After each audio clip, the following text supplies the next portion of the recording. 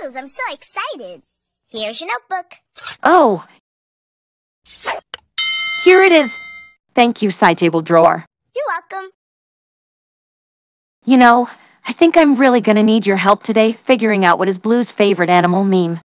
Will you help me? You will? Great, thanks. To play Blue's Clues, you gotta find a, Paw prints. right, a paw print. Cause that's our first. Yeah, a clue. Then we put it in our, Notebook.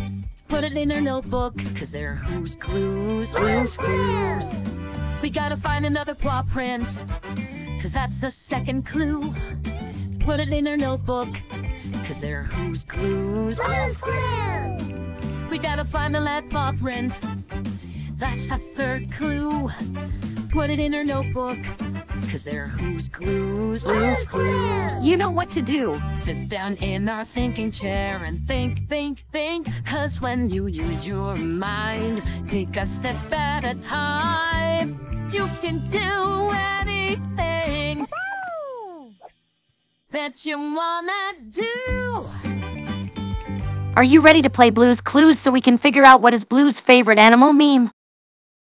Excellent. Let's go.